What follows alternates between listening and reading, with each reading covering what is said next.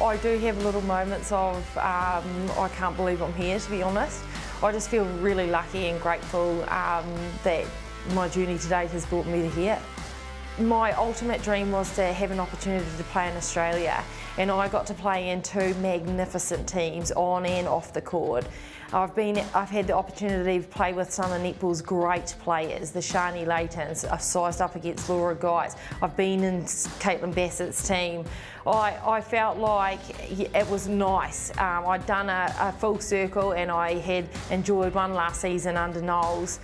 So no, I felt like I didn't have any unfinished business, um, but I think at the same time, I would have probably been left wondering if I hadn't taken up this opportunity because your sporting window is always very, very short and not a lot of people get a second chance. And this was a real olive branch, I think, for me, um, especially um, not having played this season.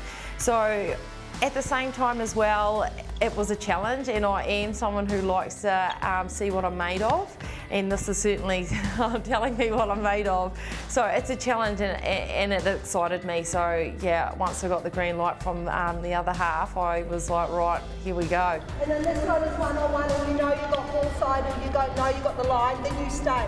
However, if there's that one... I've always been a massive advocate of Noels' coaching style. She's tactically and technically um, one of the best, if not the best, I've ever had. Her approach is very holistic.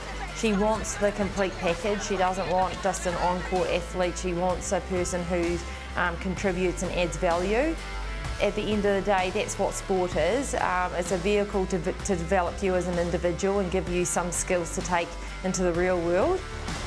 It's so funny when you get back into the environment, it does all come flooding back and oh, I need to probably zip my lips a bit at training, but you know, centre pass is my passion and I just keep going on it.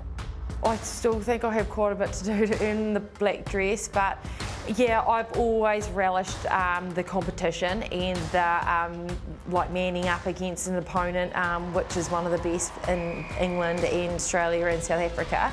So there's nothing quite like game day. Um, so yeah, I love game day and I, and I love the game planning and the strategy that goes into it. We want to consistently put out a product that we're really proud of. So yeah, I'm really, I'm really excited to see that come to the forefront.